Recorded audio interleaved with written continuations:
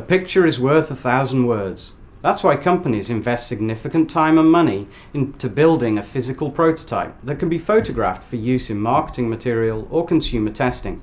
PTC's ProEngineer Advanced Rendering Extension, ARX, allows you to produce photorealistic 3D product images for use in design reviews, marketing collateral, technical documentation, user manuals, and product packaging without having to build a prototype. And as your design concept changes and evolves, you can easily update your images without creating a new prototype, thus reducing costs significantly.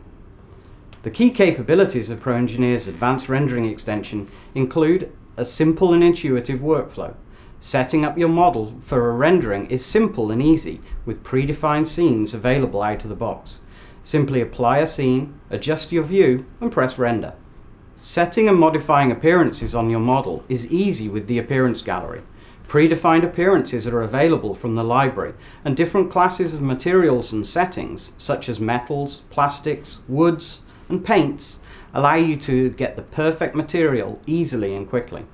Once all elements are defined, you can then easily output that high quality final image.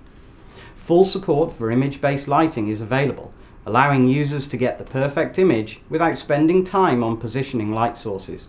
If required, light sources are available, including physically correct spotlights with preset values such as 25 watt halogen or 60 watt incandescent.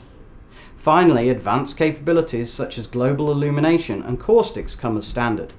With these and more advanced industry-leading capabilities, designers are able to create lifelike images quickly and efficiently. For more information about ProEngineer's advanced rendering extension, I urge you to visit the ProEngineer product pages on ptc.com.